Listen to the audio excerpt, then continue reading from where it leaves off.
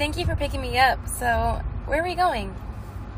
Straight to the doctor. You've been farting so much lately, our house is starting to fall apart. The wallpaper is starting to come off the walls, too.